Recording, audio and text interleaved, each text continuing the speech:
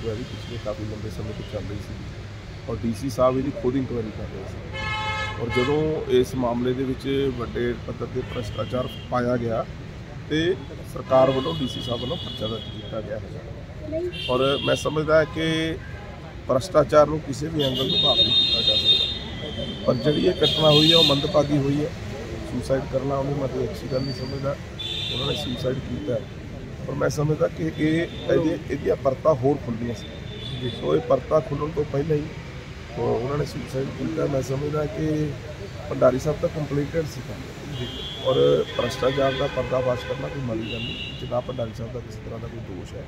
ਪਰਚੇ ਦੇ ਵਿੱਚ ਨਾਮ ਆਇਆ ਕਾਨੂੰਨ ਨੇ ਆਪਣਾ ਕੰਮ ਕੀਤਾ। ਅਸੀਂ ਕਾਨੂੰਨੀ ਪੱਖ ਨੂੰ ਬਣਾਉਂਦੇ ਹੋਏ ਜੋ ਸਾਡੀ ਸਾਡੇ ਰਾਈਟ ਅਸੀਂ ਉਹਦਾ ਇਸਤੇਮਾਲ ਕਰਾਂਗੇ। ਇਸ ਬਾਰੇ ਤੁਹਾਡੀ ਭੰਡਾਰੀ ਸਾਹਿਬ ਦੇ ਨਾਲ ਕੋਈ ਗੱਲਬਾਤ ਹੋਈ? ਅਸੀਂ ਭੰਡਾ ਪਾਰਟੀ ਭੰਡਾਰੀ ਸਾਹਿਬ ਦੇ ਨਾਲ ਖੜੀ ਹੈ। ਮੇਰੀ ਵੀ ਉਹਨਾਂ ਨਾਲ ਗੱਲ ਹੋਈ ਹੈ।